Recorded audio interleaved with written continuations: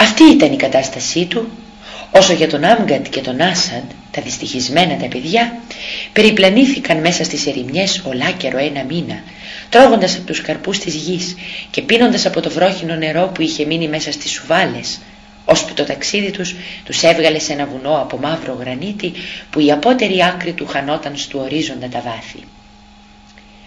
Εκεί που στάθηκαν, ο δρόμος χωρίζονταν σε δυο μονοπάτια, που το ένα ακολουθούσε τα πλάγια του βουνού ενώ το άλλο έφτανε ίσια στην κορυφή. Πήραν το δρόμο που έβγαινε ίσια στην κορυφή και πέντε μέρες δεν έπαψαν να περιπατούν σε αυτόν, μα δεν έβρισκαν κανένα τέλος, ώσπου η κούραση τους τσάκισε, γιατί δεν ήταν συνηθισμένοι να ανεβαίνουν βουνά ή απότομους τόπους με τα πόδια. Τέλος απελπίστηκαν ότι θα έφταναν ποτέ στην κορυφή από αυτόν τον δρόμο και γυρίζοντας στο σημείο από όπου είχαν ξεκινήσει πήραν τον άλλον δρόμο που ακολουθούσε τα πλάγια του βουνού και που ναι μεν ήταν πιο μακρινός μα όχι τόσο απότομος και δύσκολος σαν το πρώτο. Περιπάτησαν σε αυτόν όλη εκείνη την ημέρα, ως το βράδυ, όταν ο Άσαντ κουρασμένος από την πολλή οδηπορία είπε στον Άμγκατ «Ω αδερφέ μου δεν μπορώ να προχωρήσω πιο πέρα, απόστασα». Απάντησε ο Άμγκατ «Κουράγιο αδερφέ μου και ο Θεός θα μας λυπηθεί».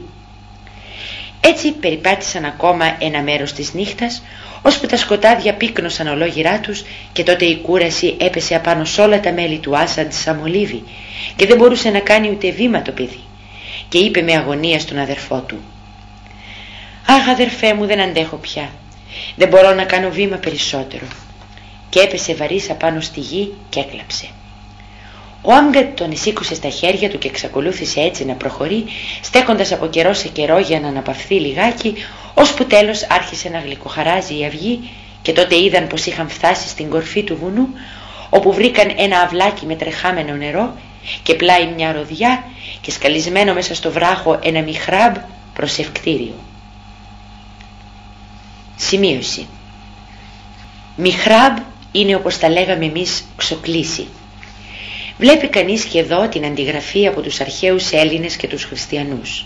Οι κορυφές των βουνών, τα σταυροδρόμια, οι πηγές, οι όχθες ποταμών όπου οι οδηπόροι και ταξιδιώτες μπορούσαν να κάνουν σταθμό και να ξαποστάσουν, ήσαν πάντα από τους αρχαιοτάτους χρόνους για το θεοκρατημένο πνεύμα των ανθρώπων μέρη κατοικημένα από μια καλόβολη θεότητα που τους προστάτευε στα ταξίδια τους και τους παραχωρούσε από τα καλά της νερό, καρπούς από τα δέντρα της, σκιά, χλόι για να ανακουφιστούν από τους κόπους και τα βάσανα της μακρινής πορείας και που συνεπώς οφείλεται σε αυτήν λατρεία και προσευχή. Οι Έλληνες τις έστειναν αυτής της θεότητας σε αυτά τα μέρη βωμούς και ναούς. Οι χριστιανοί ακόμα και σήμερα τις ερημικές εκκλησούλες που το σήμαντρό τους δεν χτυπά, ουδέχουν ψάλτη, ουδέ παπά. Και οι μουσουλμάνοι πιστοί αντιγραφείς τους τα μιχράμπ, μικρές θολωτές καμαρούλες ή κόχες λαξευμένες μέσα σε βράχο με πρόσωψη πάντα γυρισμένη προς το μέρος όπου πέφτει η Μέκα, απαραίτητο αυτό. Ακόμα από πολλά μιχράμπ που βρίσκονται σε μέρη και σε δρόμους πιο περαστικούς δεν λείπει και το καντιλάκι που φροντίζει να το τροφοδοτεί με λάδι και να τα νάβει ο ευσεβής διαβάτης, απαράλλακτα όπως συμβαίνει και στα δικά μας ξοκλήσια. Στην αρχή όταν τα είδαν αυτά δυσκολεύτηκαν να πιστέψουν τα μάτια τους. Μα ήπιαν από το καθαρό και δροσερό νεράκι και φάγανε από τους καρπούς του ευλογημένου αυτού δέντρου και αναστηλώθηκαν τα μέσα τους και ένιωσαν πως ήταν αλήθεια και όχι απάτη του ματιού και ανάπεμψαν θερμές ευχαριστίες στο Θεό. Ύστερα ξαπλώθηκαν στη γη και κοιμήθηκαν ως την ανατολή του ήλιου όταν σηκώθηκαν και πλήθηκαν και λούστηκαν στην πηγή και έφαγαν ρόδια και κοιμήθηκαν πάλι ως την ώρα της απογευματινής προσευχής. Τότε σκέφτηκαν να εξακολουθήσουν το ταξίδι τους, μα ο Άσαντ δεν μπορούσε να περιπατήσει, γιατί και τα δυο του πόδια ήσαν πρισμένα. Αναγκάστηκαν λοιπόν να μείνουν εκεί τρεις μέρες και αφού ξεκουράστηκαν καλά, ξεκίνησαν πάλι και ταξίδεψαν απάνω στο βουνό μέρες και νύχτες με μύριους κόπους και με το φοβερό βάσανο της δίψας, ώσπου τέλος αντίκρισαν μια πολιτεία που λαμποκοπούσε πέρα μακριά.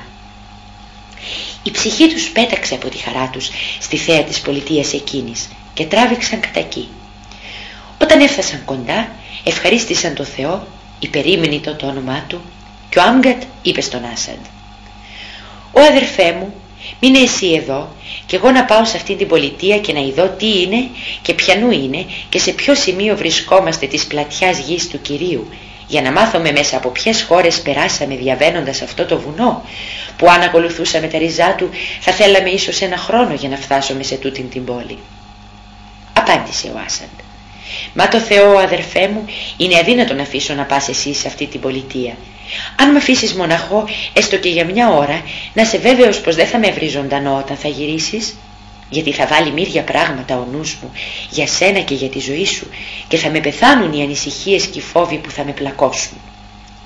Για τούτο πρέπει να πάω εγώ και εσύ να μείνεις εδώ να με περιμένεις. Σε παρακαλώ αδερφέ μου μη μου αντιλέγεις. Είπε ο Άμγκαντ. Καλά, πήγαινε εσύ αδερφέ μου, μα μην αργήσεις. Έτσι ο Άσαντ πήρε μαζί του μερικά χρυσά φλουριά που έτυχε να βρουν στα ρούχα του θησαυροφύλακα που φορούσαν και αφήνοντας τον αδερφό του να τον περιμένει σε εκείνο το μέρος κατέβηκε το βουνό και δεν έπαψε να προχωρεί ώσπου έφτασε και μπήκε στην πολιτεία. Και εκεί που περνούσε τους δρόμους συνάντησε ένα γέρο που μόλις μπορούσε να σύρει τα πόδια του από τα γυρατιά με ώμους καμπουριασμένους με μακριά λευκή γενιάδα χωρισμένη στη μέση με ένα ραβδί στο χέρι μα πλούσια αντιμένο και με ένα μεγάλο κόκκινο σαρίκι χρυσοκέντητο στην κεφαλή του. Όταν ο Άσαντ τον είδε, θαύμασε για την περιβολή του και για την όψη του. Ωστόσο τον επλησίασε και αφού τον εχαιρέτησε, του είπε «Από ποιο δρόμο πάει κανείς στην αγορά, δάσκαλέ μου» Ακούοντας αυτόν τον λόγο, ο γέρος του χαμογέλασε με καλοσύνη και απάντησε «Ο γέ μου, σαν ξένος μου φαίνεσαι» Απάντησε ο Άσαντ «Και ξένος είμαι» Τότε του είπε ο γέρος «Ο παιδί μου, γλύκανες τον τόπο μου με την παρουσία σου και αλήθεια πίκρανες πολύ το δικό σου τόπο με την απουσία σου. Γιατί θέλεις την αγορά» Σημείωση Τέτοιες φιλοφρονήσεις είναι συχνότατες ανάμεσα στους Άραβες. Είπε ο Άσαντ «Μπάρμπα μου ήρθα με τον αδερφό μου που είναι μεγαλύτερός μου από μια μακρινή χώρα και ύστερα από ένα ταξίδι τριών μηνών. Και όταν είδαμε αυτήν την πολιτεία τον άφησα απάνω στο βουνό και ήρθα εδώ για να αγοράσω τρόφιμα και ό,τι άλλο και να γυρίσω πάλι σε αυτόν για να μπορέσουμε να φάμε επειδή όλον αυτόν τον καιρό τραφήκαμε μόνο με φρούτα και με χόρτα. Είπε ο γέρος «Καλοκάρδισε παιδί μου και μη σκοτίζεσαι για την αγορά. Γιατί μάθε πως σήμερα έχω γάμο στο σπίτι μου με πολλούς προσκαλεσμένους και για τούτο έχω ετοιμάσει πολλά φαγητά, τα καλύτερα και πιο νόστιμα που μπορεί να επιθυμήσει η καρδιά του ανθρώπου. Λοιπόν, αν θέλεις, έλα μαζί μου στο σπίτι μου και θα σου δώσω ελεύθερα ό,τι έχεις ανάγκη χωρίς τίποτα να πληρώσεις. Ακόμα θα σου μάθω και τα έθιμα και τους τρόπους των κατοίκων αυτής της πολιτείας για να ξέρεις και δοξασμένος ο Θεός παιδί μου που έτυχε να συναντήσεις εμένα και όχι κανέναν άλλον. Όπως θέλεις μπάρμπα μου, απάντησε ο Άσαντ.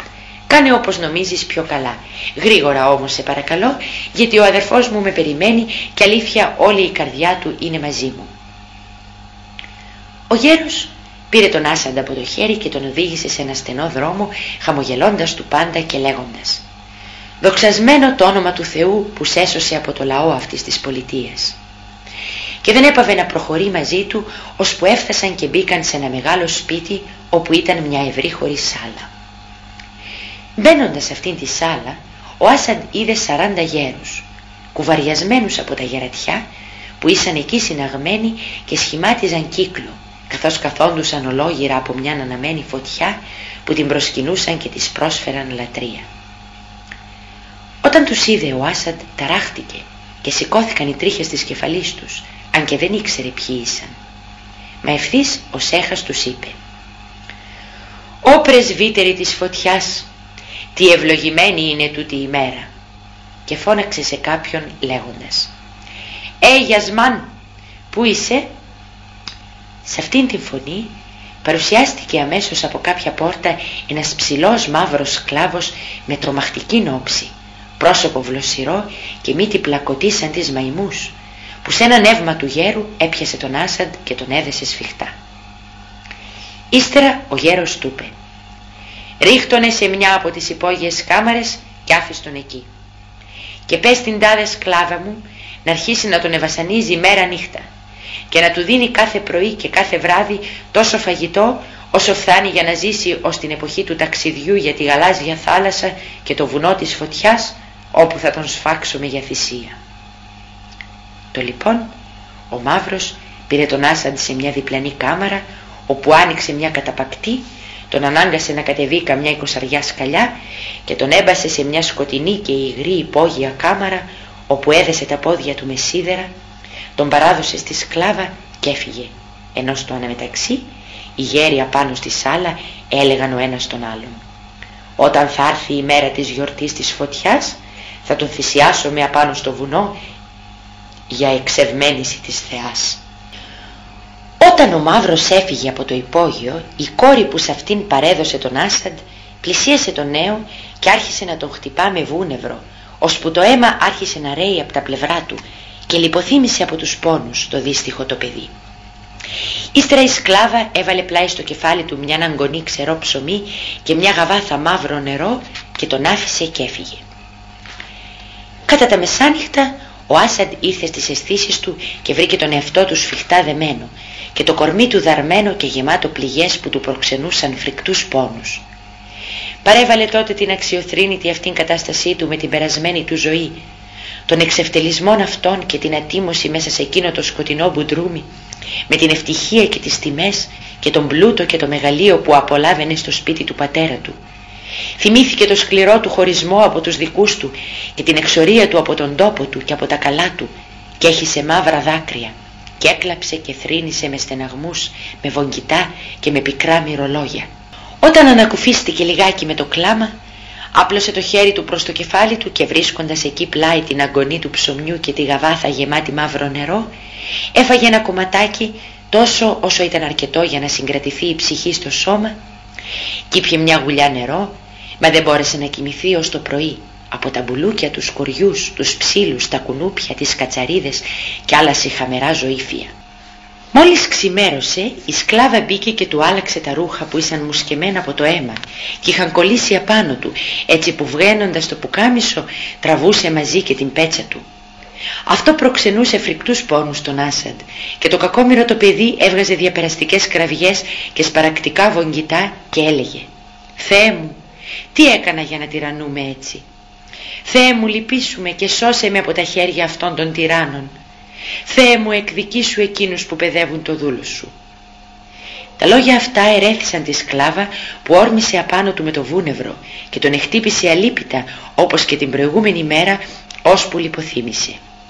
Ύστερα, ρίχνοντάς του μια αναγκονή ψωμί και μια γαβάθα θολό και αλμυρό νερό, Έφυγε και τον άφησε πάλι έρημο και μοναχό, δεμένο με τις σιδερένιες αλυσίδες, με το αίμα να ρέει σαν ποτάμι από τα πλευρά του και μακριά από εκείνους που αγαπούσε. Αυτά με τον Άσαντ.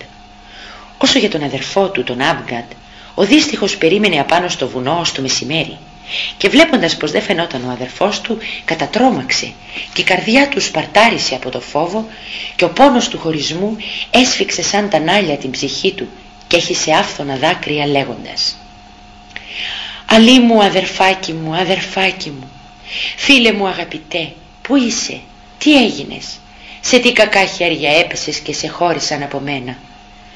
Ω καταραμένος εγώ που σ' άφησα να κατεβείς στην πόλη». Ύστερα κατέβηκε το βουνό χτυπώντας το στήθος του με τις πυγμές του από την απελπισία και με δάκρυα να τρέχουν σαν ποτάμι από τα μάτια του σε όλον τον δρόμο και μπαίνοντας στην πόλη δεν έπαψε να περιπατεί ώσπου έφτασε στην αγορά. Εκεί ρώτησε τους ανθρώπους ποια χώρα ήταν εκείνη και τι είδους άνθρωποι την κατοικούσαν και του είπαν «Αυτή είναι η πολιτεία των μάγων και οι κάτοικοί της οι περισσότεροι είναι αφοσιωμένοι στη λατρεία της φωτιάς αντί του παντογνώστη βασιλέα και κυρίου του κόσμου».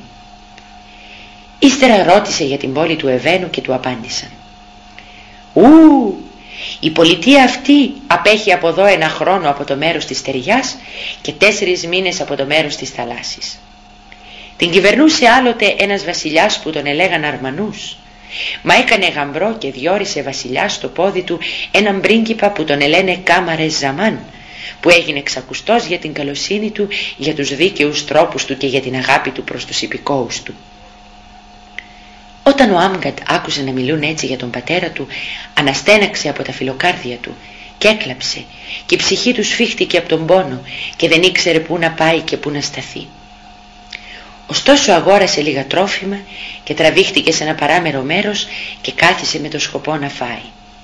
Μα θυμήθηκε πάλι τον αδερφό του και έκλαψε πικρά και δεν κατέβασε παρά μια ή δυο μπουκές όσες έφταναν για να συγκρατήσουν μαζί την ψυχή με το σώμα και αυτές δίχως όρεξη. Ύστερα σηκώθηκε και περιπάτησε μέσα στην πόλη προσπαθώντας να μάθει νέα για τον αδερφό του ώσπου είδε ένα μουσουλμάνο ράφτη που καθόταν στο μαγαζί του.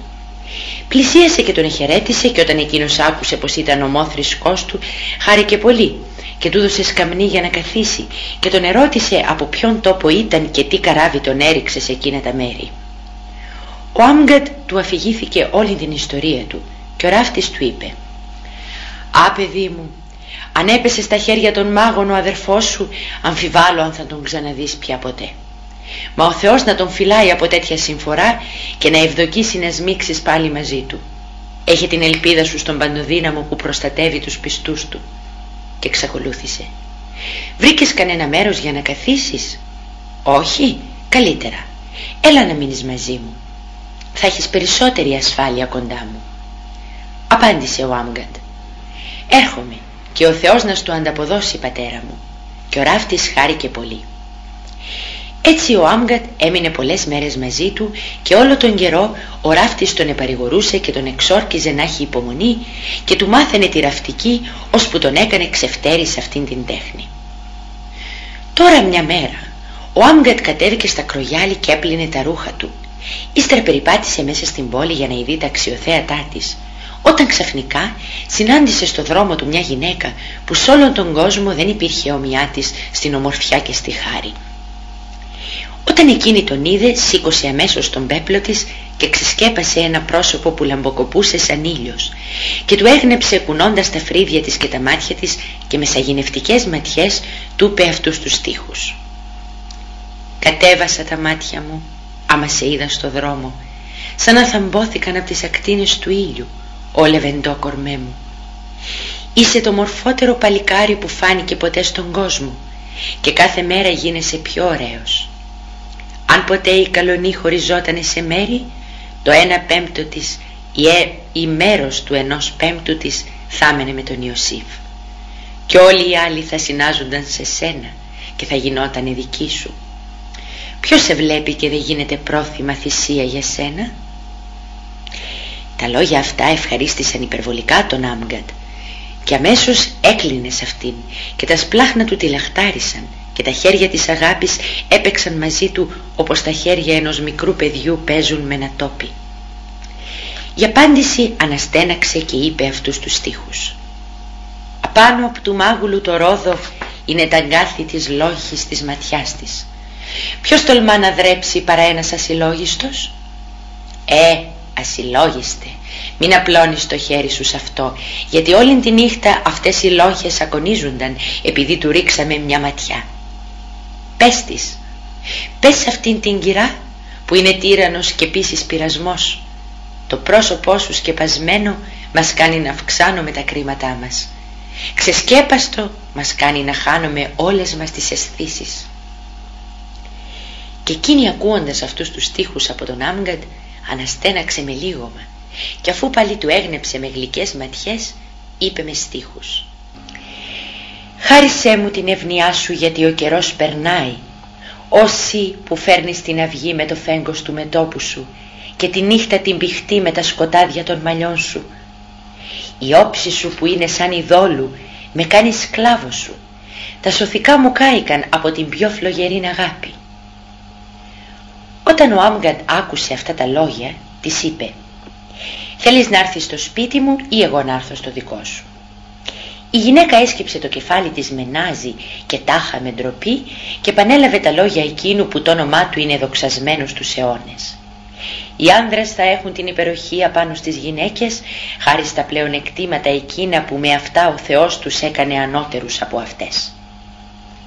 Σημείωση αυτό είναι εδάφιο από το Κοράνι, κεφάλαιο 4, εδάφιο 38.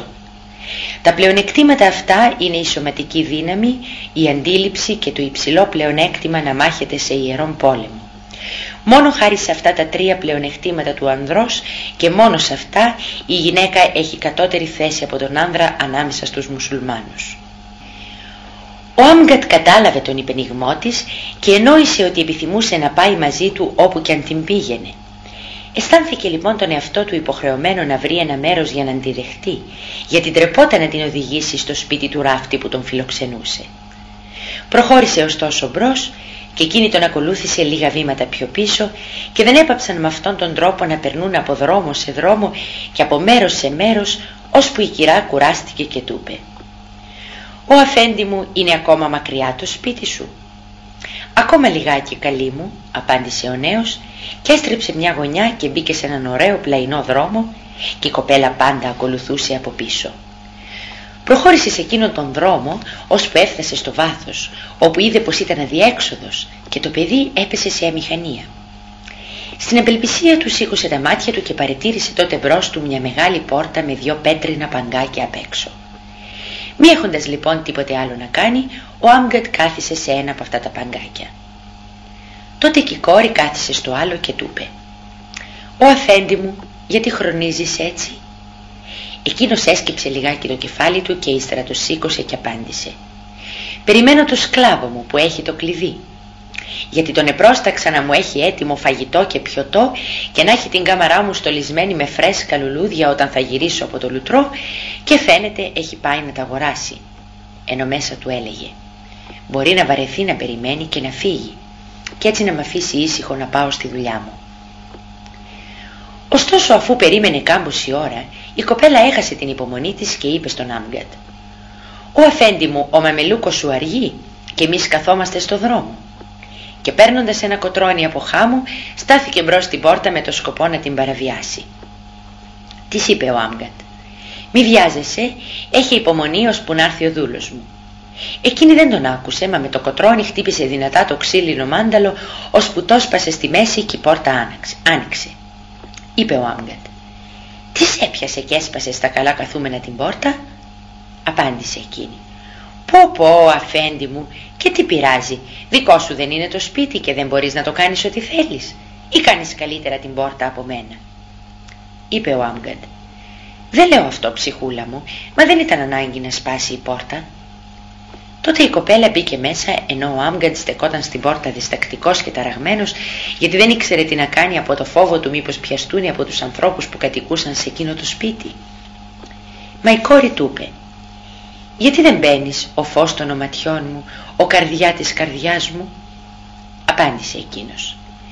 «Μπαίνω, μα ο δούλος μου αργεί πολύ και δεν ξέρω αν ετοίμασε τίποτα από όσα του είχα προστάξει» και μπήκε μαζί της τρέμοντας όλος από το φόβο των ανθρώπων του σπιτιού και βρέθηκε σε μια ωραία σάλα με τέσσερις ψηλές παστάδες που αντίκριζαν η μια την άλλη όλες στρωμένες με χαλιά και τριγυρισμένες με βαρύτιμα παραπετάσματα από μετάξι και ταντέλες και επιπλωμένες με σκαμνάκια και αναπαυτικούς σοφάδες.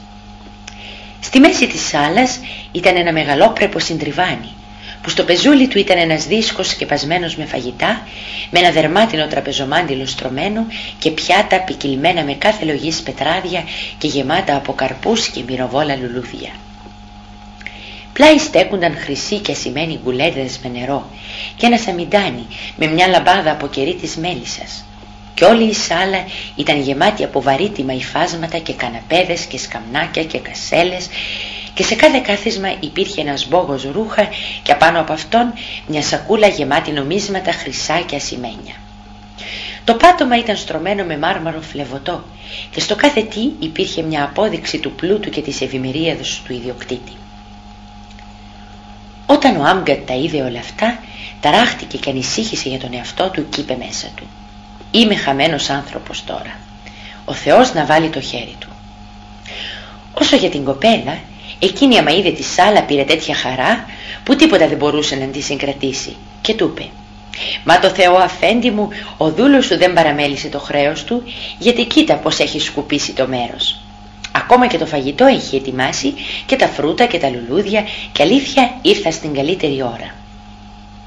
Μα εκείνος δεν της έδωσε προσοχή γιατί η καρδιά του έτρεμε από το φόβο των ανθρώπων του σπιτιού και η κόρη του είπε «Ο Αφέντη, ο καρδιά της καρδιάς μου, τι έπαθες και στέκεσαι έτσι σαν να τα έχεις χαμένα» Ύστερα αναστέναξε και δίνοντάς του ένα φιλί σκαστό που κροτάλισε μέσα στη σάλα σαν σπάσιμο φουντουκιού, του είπε «Ο αφέντη μου, αν έχεις δώσει ραντεβού με καμιά άλλη μην ανησυχείς. Εγώ θα φορέσω μια ποδιά και θα υπηρετήσω και αυτήν και σένα».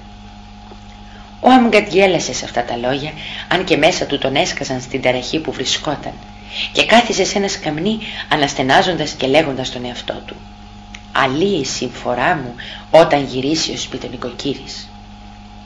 Μα η κοπέλα εξακολούθησε τα δικά της. Κάθισε πλάι του να ζού πάντα και γαλήφα και άρχισε να γελά και να του κάνει παιχνίδια ενώ ο δύστιχος ο Άμγκαντ στεκόταν με την καρδιά γεμάτη ανησυχία και βάζοντας στο νου του μύριες σκέψεις που τον έκαναν να ανατριχιάζει όλος και να λέει μέσα του κάθε στιγμή. Βέβαια ο σπιτονικοκύρης δεν μπορεί να μην έρθει και τότε τι θα του πω, δίχως άλλο θα με σκοτώσει και έτσι τρελά θα χαθεί η ζωή μου. Έξαφνα η κόρη σηκώθηκε και αφού ανασκουμπόθηκε επήγε και πήρε το δίσκο με τα φαγητά από το πεζούλι του συντριβανιού και βάζοντάς τον μπρος τον Άμγκαντ τον εξεσκέπασε και άρχισε να τρώει λέγοντάς του «Φάε αφέντη μου».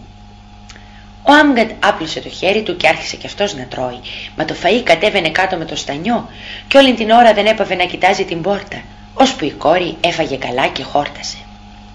Τότε σήκωσε το δίσκο με τα φαγητά και φέρε τα πιάτα με τα φρούτα και άρχισε να τρώει και από αυτά. Ύστερα έφερε το σερβίτσιο του κρασιού και ανοίγοντας την κανάτα γέμισε ένα ποτήρι και το πρόσφερε στον Άμκατ που το πήρε από το χέρι της λέγοντας μέσα του «Α, πα, πα, πα, τι θα γίνομαι όταν έρθει ο σπιτονικοκύρης και μας δει». Και ακόμα κρατώντας το ποτήρι στα χέρια του εξακολουθούσε να έχει τα μάτια του καρφωμένα στο κατόφλι της πόρτας. Ενώ λοιπόν βρισκόταν σε εκείνη την κατάσταση και σε εκείνη την ψυχική ταραχή, να σου και το σπιτονικοκύρι να παρουσιάζεται. Αυτός ήταν ένας άσπρος σκλάβος και ένας από τους πρώτους της πολιτείας, γιατί ήταν ο διευθυντής των στάβλων του βασιλέως και είχε αυτό το σπίτι για τις τέρψεις του, για να μπορεί δηλαδή να γλεντάει εκεί με τους φίλους του ή για να δέχεται κρυφά καμιά κυρά και ακριβώς εκείνη την ημέρα είχε ραντεβού εκεί με μια κοπέλα που αγαπούσε. Τον έλεγαν Μπαχαντούρ και ήταν άνθρωπος μεγαλόκαρδος και ανοιχτοχέρης και ψυχικάρης και πολύ φτωχοί βρίσκαν ανακούφιση από αυτόν. Τώρα ο Μπαχαντούρ πηγαίνοντας στο σπίτι του και βλέποντας το μάνταλο της πόρτας σπασμένο απόρρισε και νόμισε πως ήταν μέσα κλέφτες. Για τούτο έβγαλε τα παπούτσια του και προχώρησε μέσα στο σπίτι ελαφρά ελαφρά δίχως να ακούεται η περπατησιά του και φτάνοντας έξω από την πόρτα της σάλας που ήταν μισανοιχτή τέντωσε το λαιμό του και έμπασε μέσα το κεφάλι του και τότε είδε ένα νέο και μια ωραία κοπέλα να κάθονται μπρος στο δίσκο με τα φρούτα και να τρώνε και να πίνουν το ωραίο του κρασί. Εκείνη τη στιγμή ο Άμγκατ κρατούσε στο χέρι το ποτήρι και κοίταζε την πόρτα όταν ξαφνικά τα μάτια του αντίκρισαν τα μάτια του Μπαχαντούρ.